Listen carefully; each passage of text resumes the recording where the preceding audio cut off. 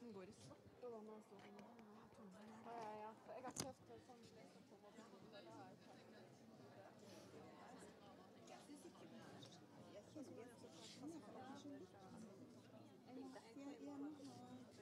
sånn jeg.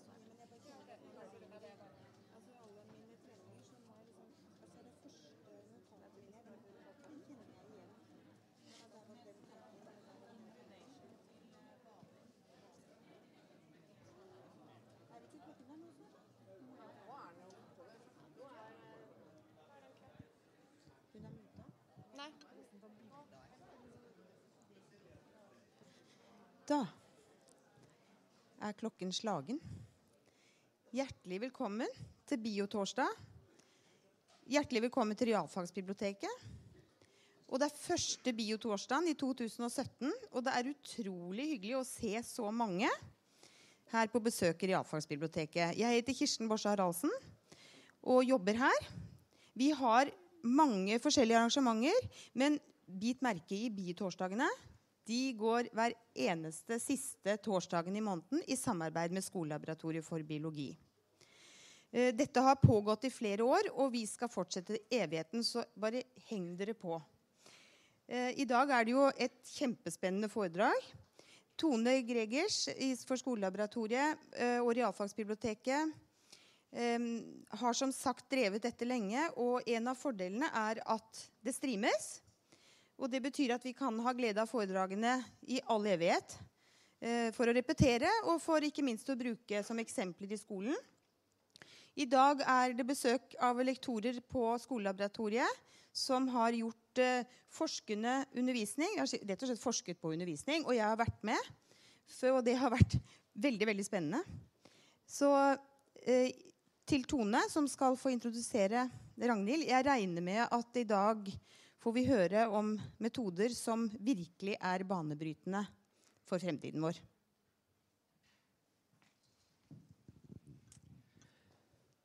Ja. Eh, Tone heter jeg, eh, fra Skolelaboratoriet for biologi, som Kirsten sa. Vi er eh, veldig glad for dette samarbeidet som vi har med Realfagsbiblioteket. Eh, nettopp fordi at det blir streamet. Og vi vet at eh, lærere bruker disse foredragene i sin undervisning. Sånn at det er en, en eh, veldig flott ressurs. Jeg snakket med en kollega i sted, og han sa nå er det to ting som er veldig populært for tida. Det er felleski, og det er CRISPR-Cas. Og Ragnhild hun er eh, forsker og prosjektleder ved Institutt for biovitenskap.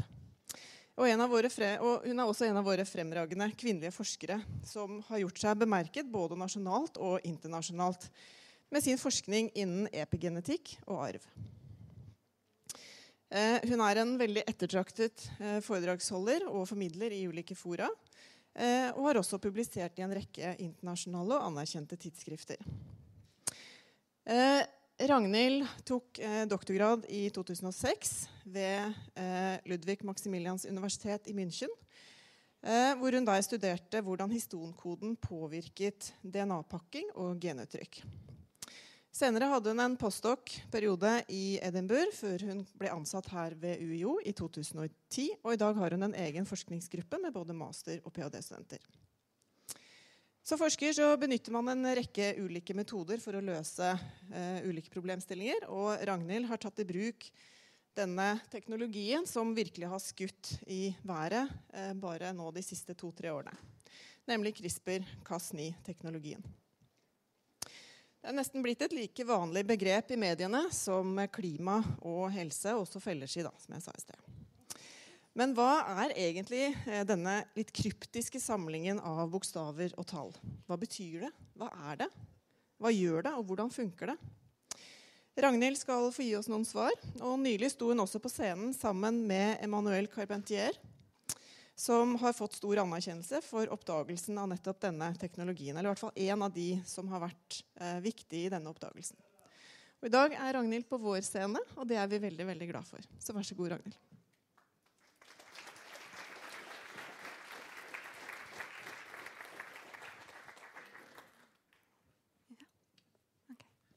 Tusen takk for en veldig fin introduksjon. Eh, tusen takk til Skolelaboratoriet for biologi og til Universitetsbiblioteket for at jeg får muligheten til å snakke for dere. Og takk til alle dere som har kommet i dag. Eh, jeg jobber som sagt på eh, Institutt for biovitenskap eh, her på universitetet. Jeg er òg med i et uh, strategisk research initiative, et endringsmiljø her på UiO. Og er assosiert med Stamcellesenteret her eh, på sykehuset. Jeg starta foredraget med fire bilder. Det betyr at dere Det er en sånn type fredagskveld-quiz. Hvem skal ut?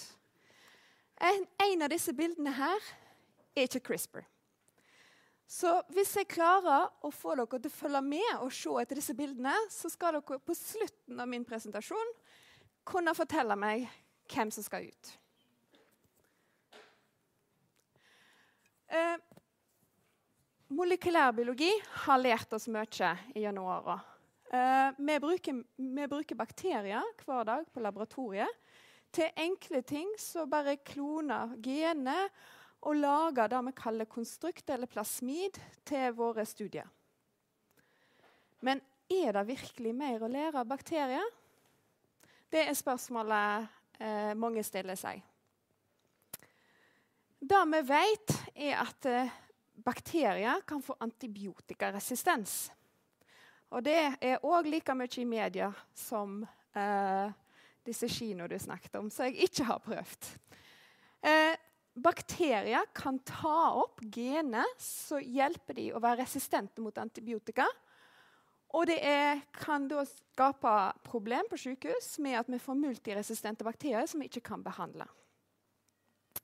Men visste dere det? At bakterier kan òg bli angrepet av virus på samme måte som vi får influensa eller vanlig forkjølelsesvirus.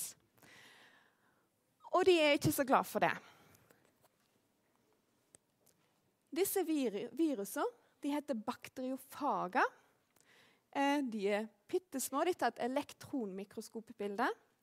Første gang jeg klarte å se en, eh, en bakteriofag eh, i mikroskopet, var på 1940-tallet. Men de blir oppdaga av Fredrik Twart eh, rundt 1915. Det er utrolig mange bakterievirus på jorda vår. Tallet er ti opphøyd i 31. ulike typer bakterievirus. Det vil si det er ca. ti forskjellige viruspartikler per bakterie på jorda vår.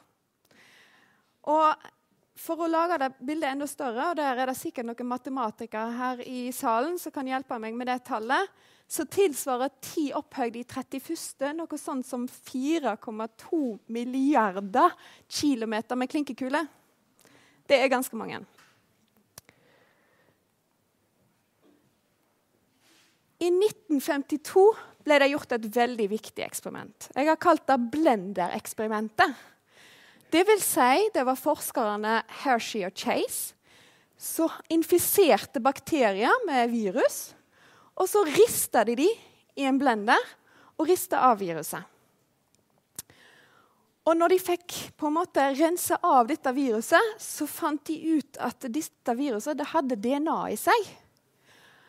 Og de definerte det som DNA har en ukjent rolle. Senere har det blitt sagt at de har en, eh, en informasjon i seg, altså en arvelig rolle.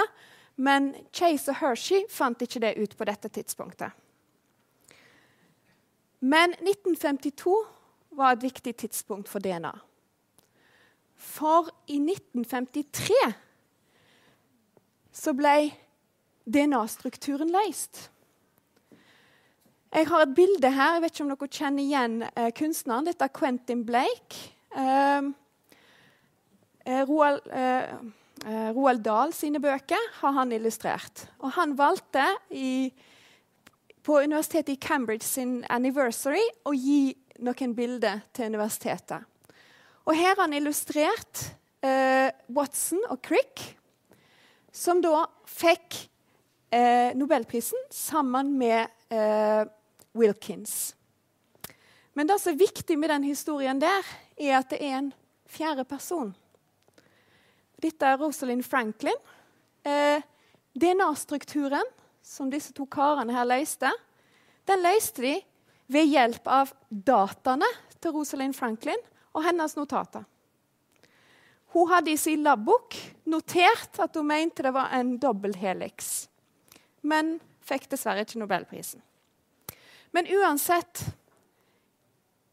Her fant de DNA, og at det hadde en viktig funksjon, men en ukjent funksjon. Og så ble DNA-strukturen løst. Hvordan kan bakterier slåss mot virus? Vi vet jo at Når vi får en virusinfeksjon, så er det ofte immunsystemet vårt som bekjemper viruset. Det har bakterier òg, men det er litt forskjellig for oss. Bakterier sin forsvarsmekanisme mot virus er bl.a. ulike protein. Dere har hørt om enzym, forskjellige enzym når en skal lage ost osv. Bakteriene lager enzym som kutter viralt DNA. Dette heter restriksjonsenzym. Og de har spesifikke koder i DNA-et som de gjenkjenner og kutter. I dag så bruker vi restriksjonsenzym daglig på laben fordi vi vet hvordan de fungerer og kan kutte ut biter av DNA for å pusle sammen en ny eh, eh, DNA-bit. Så dette funker, men kanskje ikke godt nok. For det må mer til. I 1987 så ble det oppdaga en repetitiv sekvens i, DNA, eh, i bakterielt genom. Og Spørsmålet da var er dette bare søppel. Betyr det noe som helst? Og Helt fram til 2002 skjedde det veldig lite.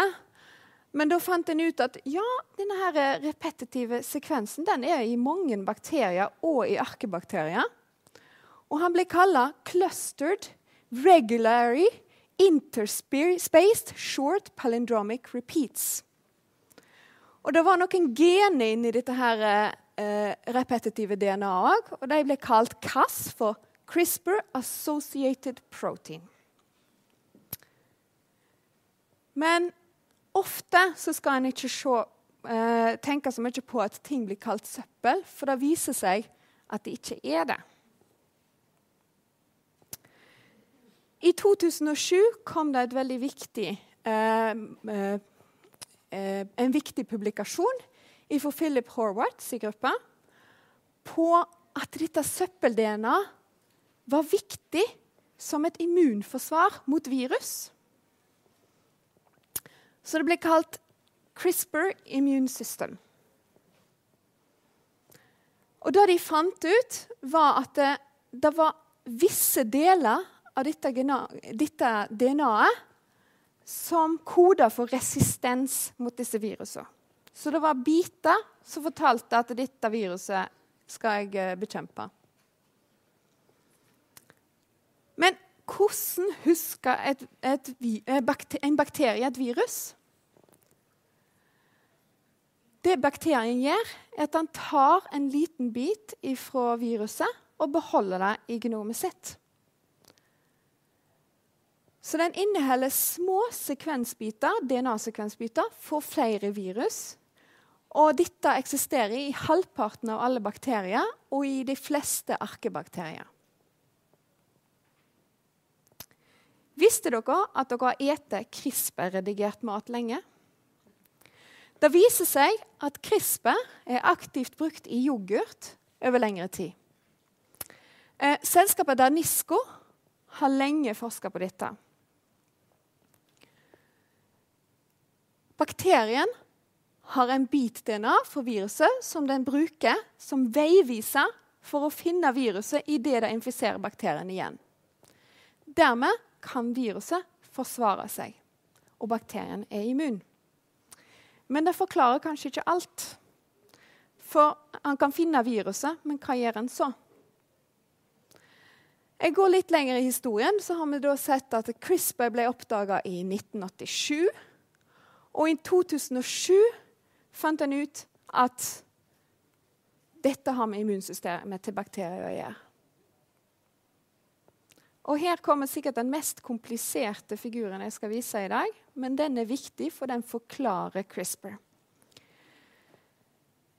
Det viruset gjør, den lille romskiplignende eh, strukturen, er at han setter seg på overflaten til bakterien. Og så injiserer han DNA-et sitt inn i bakterien. For at bakterien da skal lage flere virus og kopiere den opp. Så du får da fag-DNA, eller dette virus-DNA, inn i bakterien. Og da sier bakterien ja, men da setter jeg det inn her. Så dette er denne clustered CRISPR-sekvensen. Her er disse Cas-genene, og så bare setter den inn mellom her. Når bakterien blir, eh, blir eh, treffer et sånt virus igjen, så lager den en kopi av DNA-biten. Den blir prosessert av disse proteinene. Den blir kløpt opp i biter. Og dette fungerer som veiviseren som disse proteinene bruker til å finne virus-DNA og la disse proteinene kutte det opp i veldig små biter. Da er ikke lenger virus-DNA farlig, fordi det kan ikke lage flere virus og celler overleve.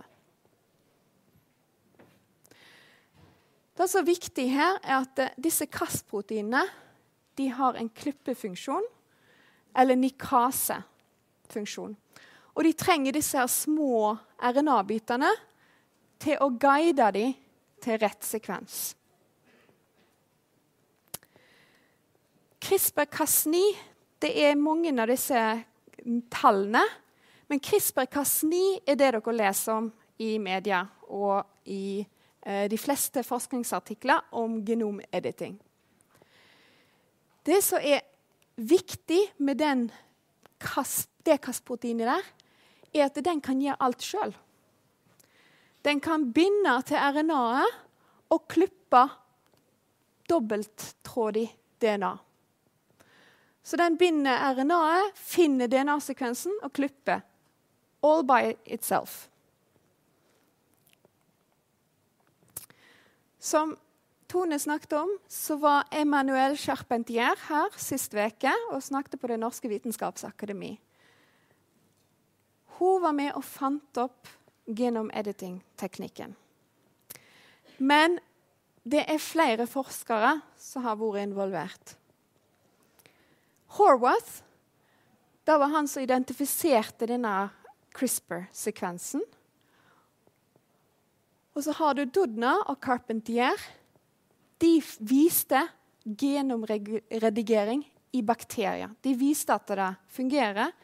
Og i paperet deres i 2012 så er siste setningen at her er det mulighet for å redigere i mange typer organismer. På samme tid så har du eh, Zang og Church, som kom fra en annen strategi. De hadde jobba med genomredigering lenge og leita etter nye kandidater og leita i bakteriegenomet og fant Cas9 som en av kandidatene som de testa. Men hvis dere er interessert i å lese mer, så står det òg om 'The Unsung Heroes of CRISPR'. For i forskningen så er det eh, disse her gruppelederne eller professorene som får all æren for oppfinnelsen. Men det ligger mange, eh, mange timer med arbeid for ph.d.-studenter, masterstudenter og postdokker i dette her. Nå til dags så ser dere at CRISPR det er overalt. Du kan redigere alle typer organismer, for planter til dyr. Men hva betyr egentlig genredigering? Genomredigering eller genredigering det er en metode der vi endrer arvematerialet. Vi kan fjerne sette inn eller endre DNA-koden, som illustrert her. Og Da er det viktig å vite hva cella gjør i en situasjon der DNA blir ødelagt eller klippet opp. For det er det som er hele clouet med genredigering. Hvis ei celle får skade i DNA-et, så reparerer den det. Jeg har illustrert det med brubygging. Eh, der cella bygger nytt DNA der skaden har oppstått. Og det kan skje på to måter. Det er et langt navn som heter non-homologous enjoining. Neighbor enjoining. Det er retting av DNA-biten, eller liming sammen av DNA-biten, uten arbeidstegning. Når en skal bygge ei bru, så trenger en arbeidstegning. Men denne her metoden her er kjapp og bare limer sammen igjen eh, der det er ødelagt. Den andre metoden den er mer nøye. Det heter homologous repair. Den bruker arbeidstegningen, altså DNA, en, en lik DNA-sekvens, og kopierer den og får presist retta opp feilen der den oppstår. Så det han skjønner med en gang her, er at den første, upresise, der kan det skje mutasjoner. Mens den andre, den retter opp helt korrekt. Så må vi snakke litt om reversgenetikk. Vanligvis så hører en om en fenotype. Jeg har blå øyne, du har brune øyne. Det kommer av uttrykk av visse gener. Så vi har en genotype, og vi vet at har du den, det eller det genet, så får du da brune eller blå øyne. Men på laboratoriet der jobber vi med reversgenetikk. Vi har et gen som vi er interessert i. Vi kjenner lite til funksjonen. Og for å forstå mer av det, og for å forstå hva det gjør, fenotyper altså, så ødelegger vi genet med å lage bl.a. knockout-mus. Vi kan ødelegge ett gen eller flere gen for å forstå funksjonen til det. Vanligvis når en skal lage knockout-mus, så bruker en denne metoden her. Tidslinja er måneder og opp til år. Og det koster veldig mye, for en trenger mange mus. En bruker stamceller i cellekultur. Og så introduserer en mutasjon på ene armen. En vet at vi alltid har eh, en genkopi for mor og en genkopi for far.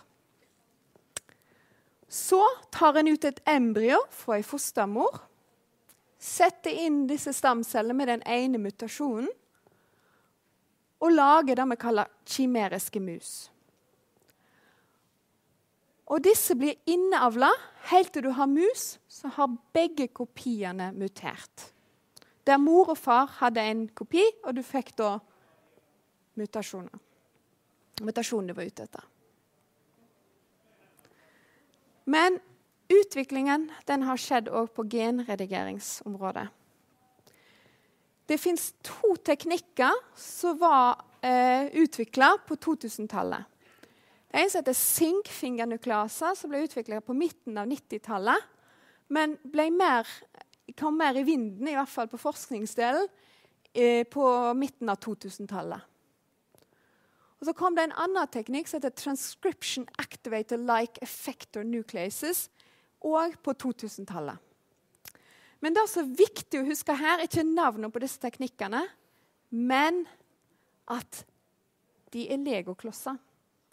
Det tok veldig lang tid å få ting til.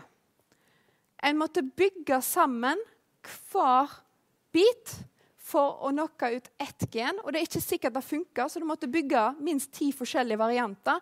Og kanskje det funka da. Så det var verktøyet vi satt med på 2000-tallet. For å illustrere det på en annen måte så husker dere at mus, museknockoutene de tok måneder og år. For å knocke ut ett gen i ei cellelinje i cellekultur på laben så tok det flere måneder. For en måtte bygge og bygge og bygge, og bygge, og så til slutt så funka det. Og Det betyr at eh, arbeidstimene gikk, og det ble òg en del utgifter med denne metoden. Men så kom CRISPR-Cas9. Og Fordelen med CRISPR-Cas9, hvis dere husker det, så var det ett protein og ett RNA. Og det gjorde alt. Så det vil si vi eliminerer alle disse byggeklossene. For vi har allerede proteinet vi trenger. Det eneste vi trenger, er RNA-et for å finne den biten på DNA eller arvematerialet som vi vil nå. Så tidslinja gikk fra måned til uke, og utgiftene er nesten ingen. Og ikke bare det. Det gir muligheter som vi ikke hadde før. For når en så på Legokloss-eksperimentet, så var det visse ting en da ikke tenkte var en ville gå, be, gå i gang med. Men med CRISPR da kan en teste hva som helst.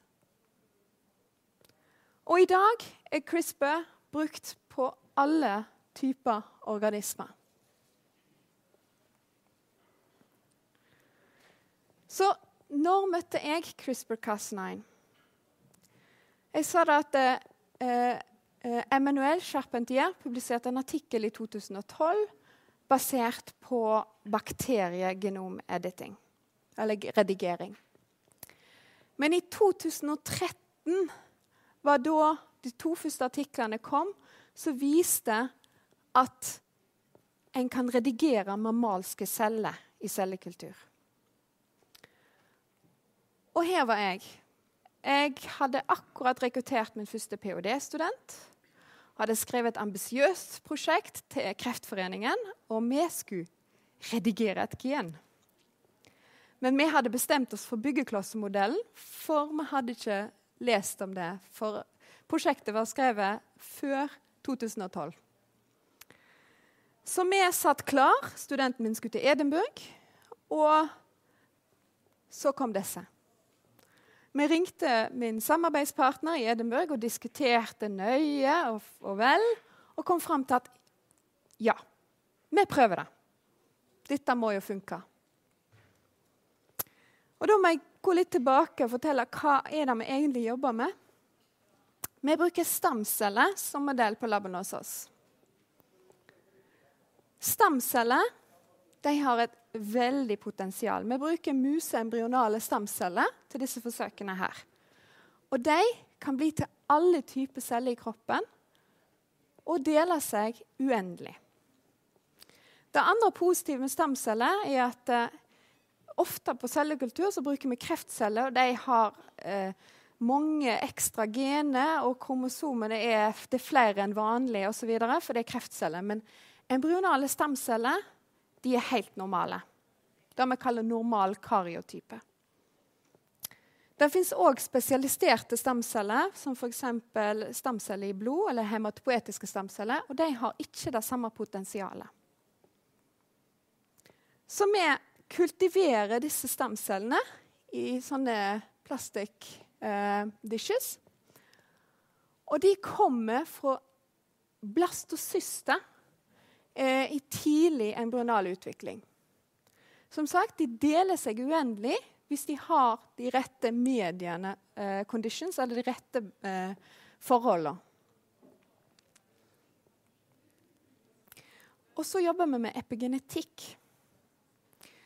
Og epigenetikk det er endringer av Eller en studie av arvelige egenskaper ved genomet vårt som ikke skylder endringer i DNA-koden, men i avlesning og bruk av denne. Så det er noe annet enn genredigering. Cellekjernen den har to typer kromatin. Hvis en tar et elektronmikroskopbilde av cellekjernen, der arvematerialet vårt er, så ser en at en har lysere regioner og mørkere regioner. I de lyse regionene har vi det vi kaller aukromatin. Det vil si at det er området der genene er skrudd på og er aktive, åpne og tilgjengelig. I de mørke regionene har vi genene som er skrudd av og de er pakka tett sammen. Denne pakkingen av DNA-et vårt det er epigenetikk. Den regulerer avlesing og bruk av arvematerialet vårt. Så vi ser på ulike kjemiske brytere. Det er forskjellige brytere som skrur av og på genene våre. Vi har merkelapper på DNA-et, som heter DNA-metylering. Vi har kjemiske merkelapper på disse pakkeproteinene som pakker DNA-et sammen. Så har vi proteiner som gjenkjenner og binder disse merkelappene. Og de siste eh, nykommerne inne på genetisk merking er ikke-kodende RNA, som, som, virker som brubyggere for, for å eh, lede ulike protein til et gen som skal være på, eller et gen som skal være av. Det vi forsker på, er å forstå funksjonene til disse ulike epigenetiske merkelappene. Altså mekanismene bak. Og for å gjøre det, så er CRISPR helt banebrytende. Vi kan i løpet av to uker i våre stamceller knocke ut eller endre et gen. Det ser sånn ut. Stamcellene våre er i cellekultur. Vi setter til Cas9 og et sånt RNA. Og så venter vi. Det tar litt tid, vi må vente i ca. to uker. Og så bruker vi ofte PCR eller et western til å identifisere ei cellelinje som har fått en endring. Og det var det Madeleine Fossli, som var min første ph.d.-student, eh, fikk gjøre. Og det hun gjorde, var å sette inn en bit med DNA i et gen som vi ikke har kunnet skilt fra et annet gen før, for de er nesten like på proteinkoding, men veldig ulike på DNA. Så de har to, to gener, men veldig like protein. Så ved å sette inn en sånn DNA-bit, så merker vi proteinet, sånn at vi kunne finne det igjen. Og det ser dere her. Her har vi DNA i cellekjernen. Og så ser du at proteinet lyser opp, for vi bruker denne DNA, eh, proteinbiten med et antistoff, så kan vi gjenkjenne det. Så vi sammenligna to gener, disse to genene som var nesten like, og kunne se at det, nei, de hadde iallfall ikke likt genuttrykk ved forskjellige mengder protein. En annen ting, Hvis dere husker tilbake, så hadde vi denne brubyggingen, eller denne opprettingen eh, av, eh, av DNA-kutt. Vi var du kan kalle det heldige eller uheldige, og fikk noen cellelinjer som ikke gadd å bruke oppskrifta vi hadde gitt dem. For vi ga dem en oppskrift med en DNA-bit som skulle rette. Og når, når disse, disse, cellene ikke brukte oppskrifta, så skjedde det feil. Og for oss så var det jo egentlig bare positivt, for vi fikk lagd mutert Vi fikk mutert begge kopiene fra mor og far i cellene. Da tar vi og sammenligner dem med villtype, eller disse originalcellene som ikke har mutasjoner, og ser på genuttrykk. Stapper det inn i en sekvenseringsmaskin og ser, og har sett, at det er forskjeller. På den måten kan vi skjønne litt av funksjonen til dette proteinet. Da vi vet at dette proteinet vi ser på, er viktig for oppregulering av en god del gener som eh, blir brukt i celler når den skal differensiere. Men det er en annen ting òg dere må vite. Ofte tenker en på DNA som noe som er statisk og sitter i ro i cellene våre. Men DNA det er dynamisk. Og visste dere at gener snakker med hverandre? Ikke bare de som er aktive, møter hverandre, men de som er slått av, de liker òg å holde tett sammen. Og vi har ingen forståing for hva som egentlig skjer, og hvorfor de møtes. Det er en del eh, forskning på disse genene her, og det er det vi heiver oss på. Og da bruker vi mikroskopi. For ved å bruke mikroskop kan vi lære nye ting.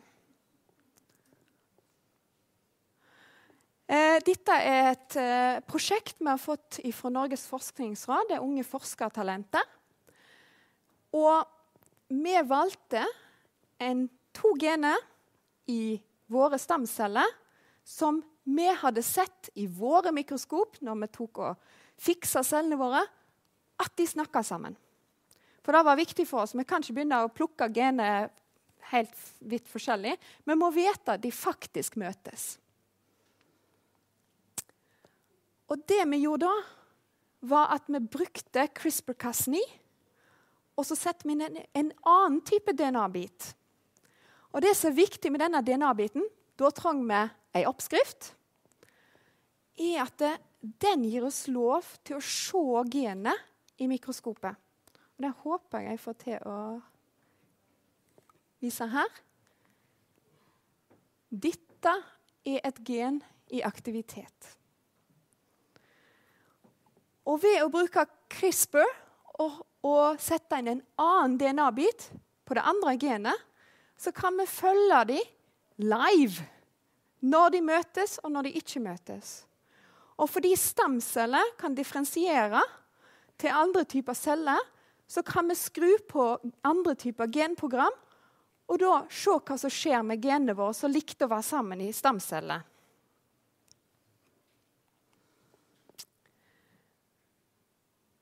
Det er mange muligheter med CRISPR, spesielt i forskningen. I musemodeller så har en vist at jeg kan sette inn Cas9 og disse guide-RNA-ene for flere gener på en gang og knocka ut flere gener i samme musa. Da bruker en enten den med oppskrift eller den uten oppskrift, og begge funker veldig bra. Så før når en brukte måned, måneder og år på å knocke ut ett gen, så kan en gjøre dette veldig kjapt. Men det er òg en utvikling innen vår del av forskningen som er på å skru av og på genet og følge epigenetiske reguleringsmekanismer. For Cas9 kan vi kan fjerne saksa på kassen i med å mutere noen aminosyrer. Og så kan vi sette på forskjellige hatter. Setter vi på den svarte hatten, så skrur vi av genet hvis vi lar kassen i dra dit. Setter vi på den grønne hatten, så kan vi skru på genet. Så vi har nå muligheter til å leke med dette systemet og forstå hvordan gener snakker med hverandre, og hvordan de blir skrudd av og på. Så CRISPR-Cas9 har uendelig mange muligheter. Spesielt i grunnforskningen. Men det er jo òg en kommersiell del av CRISPR-Cas9. Kampen om patentet på CRISPR-Cas9 det kan dere lese om på, på, på nett. Bruken av CRISPR-Cas9 kommersielt vil være verdt milliarder av kroner. Og de pengene ønsker forskningsinstitusjonene. Charpentier og Dodner sendte inn sin patent i 2012. Og Sang sendte inn sin patent seks måneder senere. Men på et eller annet vis så klarte Sang å få sitt første patent før Carpentier og Dodner. Så forskningsinstitusjonene ser dette som en stor inntekt. Og En kan jo da stille spørsmål om det blir sterkt press på forskerne som kan åpne den for åpne forskningsideen og forhindre samarbeid. Men heldigvis så har Carpentier og Dodna og Sang de har samarbeidet selv om de har patentert CRISPR-Cas9. Det står faktisk i Sang sin patent at Dodna er med. Det andre de har valgt å gjøre, er å dele alle konstrukt på en åpen database. Så er faktisk der vi har bestilt våre Cas9 ifra.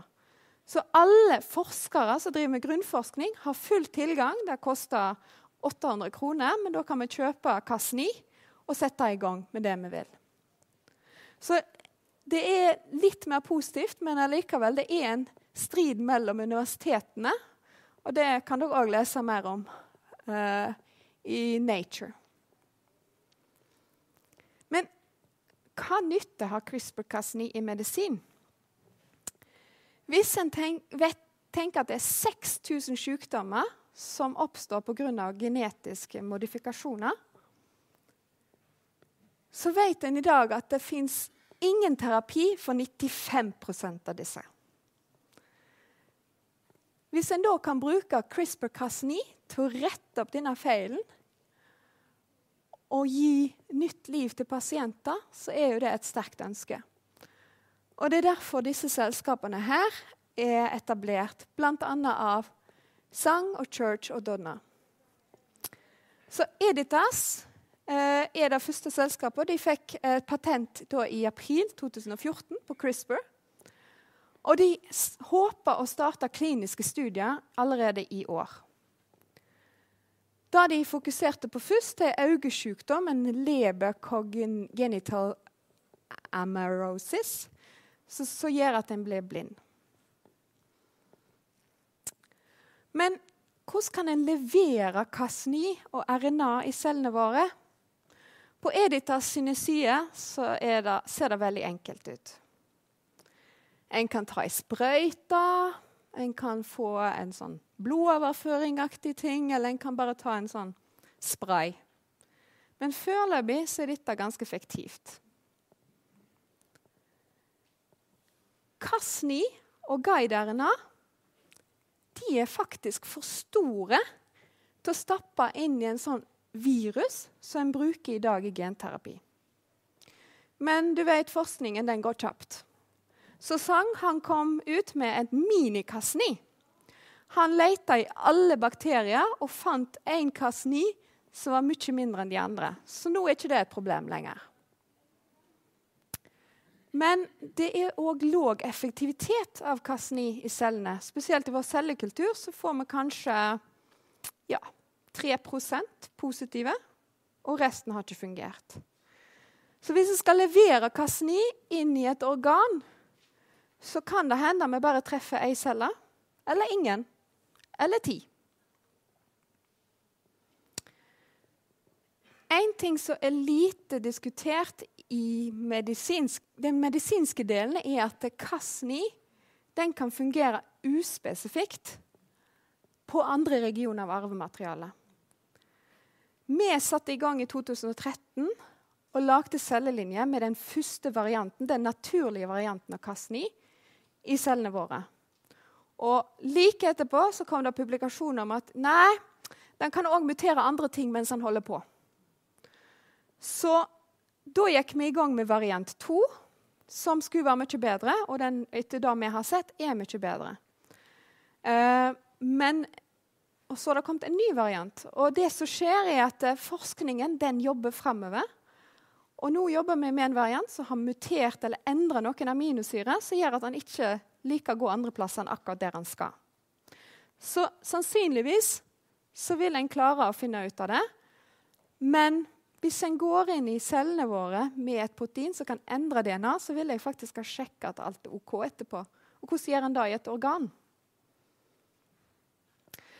Jeg vet ikke om dere har sett denne filmen. Hvis ikke så kan jeg anbefale den. Uh, The Fundamentals of Caring. Den handler om en gutt med Duchenne muscular dystrofi, så en genetisk sykdom som rammer 1 av 3000 til 1 av 3500 til 1 av 5000 gutter. Og det er en mutasjon i genet DMD. En driver nå med forskning på CRISPR-Cas9 med dette nye mini-Cas9 i mus der en prøver å rette opp dette genet. Så hvem veit? Kanskje i framtida kan en rette det opp. Men det er òg en del etiske eh, diskusjoner rundt bruken av Cas9. Mange snakker om designerbarn. Og risikoen er bruk av CRISPR-Cas9 i humane embryo. Eh, det er blitt gjort i Kina. Da har de brukt embryo som var ekstra etter en vitro-fertilisering, og som ikke kunne bli til et menneske. Men bekymringen er der. Og forskerne, forskerne er obs på dette her. Det er mange som står sterkt sammen og sier ikke, ikke rediger et humant embryo. Så der er der jeg vil stoppe i dag. Og så vil jeg spørre om noen klarer å si hva som ikke er CRISPR.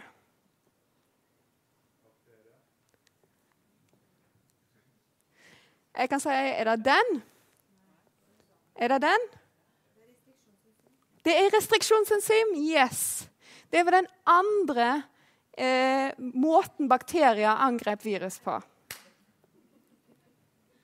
Eh, vepsen han kan bli genomredigert. Og da jeg lagde denne quizen, så tenkte jeg Gud, det er så mye jeg ikke altså, det er så mye jeg kan ta med. Alt er jo CRISPR, for alt har jo DNA i seg, nesten. Så hvem veit. Men ja. Til slutt så vil jeg takke gruppa mi. Jeg har vist litt data fra Madeleine og Beata. Så vil jeg takke Odd Stokke Gabrielsen, som jeg deler lab med, og mine internasjonale samarbeidspartnere. Og selvsagt eh, Forskningsrådet og Kreftforeningen og diverse fond jeg har fått midler ifra. Så tusen takk.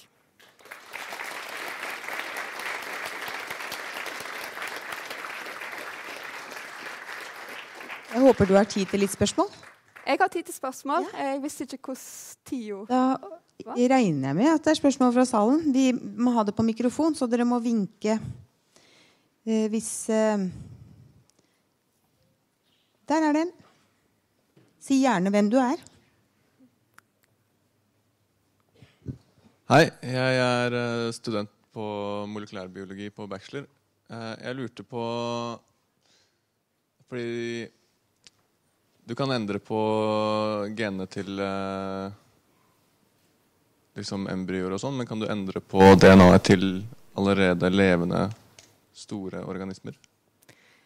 Ja, eh, det er det en driver forsøk med, for det er det som er etisk ettertrakta når det gjelder iallfall human medisin.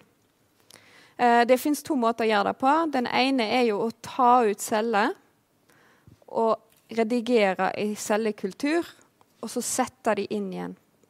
Men da, er en lengre prosess, for da kan hende du må da reprogrammere cellene for å, å bli til det du skal reparere.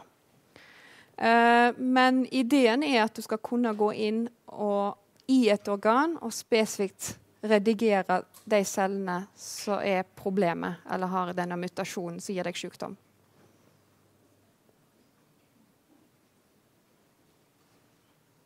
For, ja, fordi altså, tanken på å sprøyte inn eller å puste inn, det er, det er en stund frem i tid. Jeg, jeg tror det, men hvem veit? Ting har skjedd veldig fort siden 2013. Nå er det to, og jeg vet ikke hvem som var først. Men jeg tar damene først. Reidun. Uh, age before beauty. Jeg har, tusen takk for fint foredrag. Jeg har bare et spørsmål rent sånn teknisk om det som dere gjør. Hvordan får du ditt CRISPR det, inn i dine celler? Du sa ikke det, tror jeg. Nei, vi Nei. bruker elektrisk puls. Jaha. Eh, det er en kort elektrisk puls, og da stresser vi cellene sånn at de slipper inn DNA eller protein. Um, jeg lurte på om i hvilken grad forårsaker de kassen i uspesifikke skader i cellene? Uh, er det noe som f.eks. kunne blitt brukt til å sette inn i kreftceller for å påføre dem skade? Eller er det ikke i så eh, stor grad? Jeg ville ikke gjort det uspesifikt. Hvis jeg skulle gått inn i kreftceller, så ville jeg gått på et uh, onkogen eller retta et tumor suppressor-gen eller ja, noe sånt. Um, hmm. Hvor spesifikt er det? Altså, jeg lurte mest på hvil, hvor stor grad forårsaker det uspesifikt? Som sagt, teknikken har utvikla seg. Det har med denne biten med RNA som guider sekvensen. Så vi bruker mye mer tid nå. Det fins databaser der vi søker opp mer perfekte RNA. Men i 2013 da hadde vi ikke det. Så da har du flere off-targets, eller like sekvenser der den kan gå. Eh, men med, din, med, disse her nye variantene så får en mindre off-targets.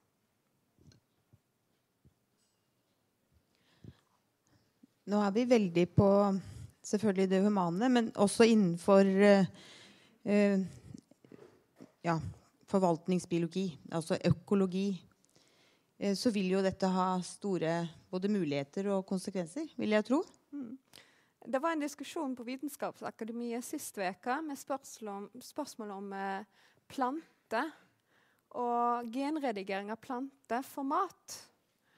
Og det har jo vært eh, veldig mye skepsis mot det vi kaller genredigert mat. eller sådan. Og det har jo vært for De tidligere teknikkene brukte jo antibiotikaresistensgenet eh, for å lage disse spesialplantene.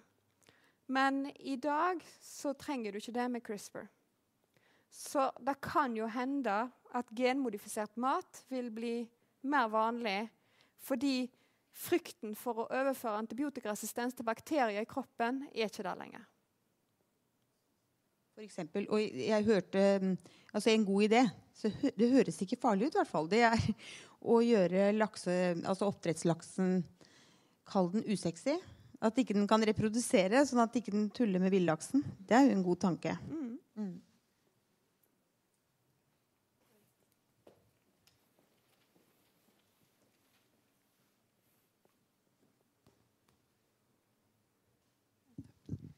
Jeg lurte mer på sånn, eh, tilbake til det etiske igjen. med eh, Når du kommer på litt sånn eh, grå eh, grey area med eh, CM-barn eller embryoer som kan mest sannsynlig til å få en eh, sykdom à la Parkinsons og sånn. hvordan si, vitenskapen heller mot den ene eller andre sida der.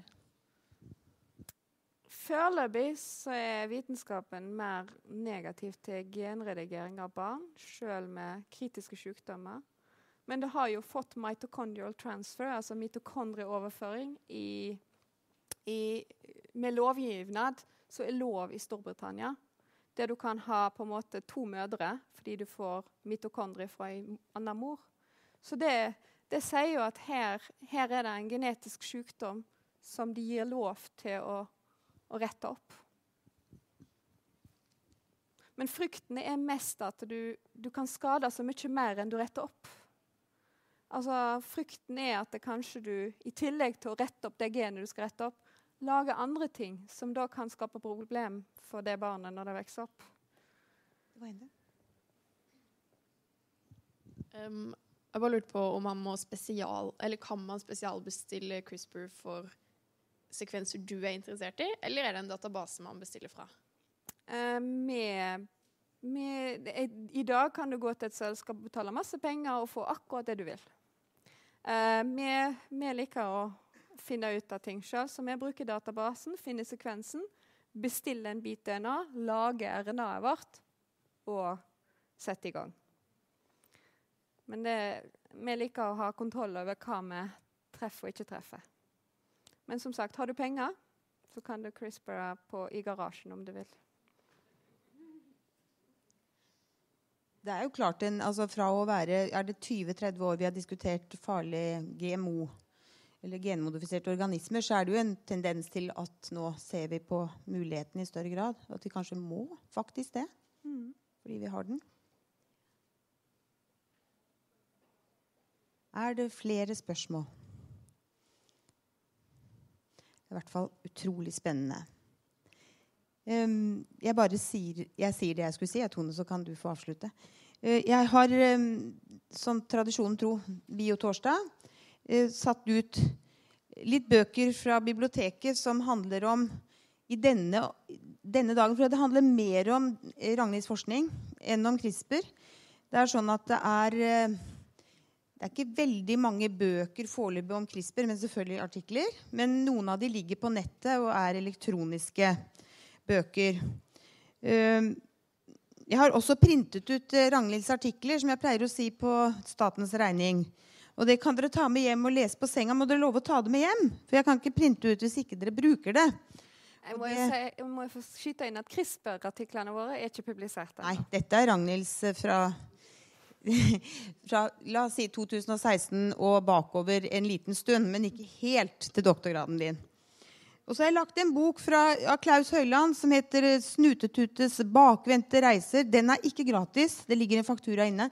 Den selges av Norsk biologforening og er veldig morsom hvis man eh, vil lese både for barn og barnebarn og seg sjøl om evolusjon. Og evolusjonsteorien og Darwin.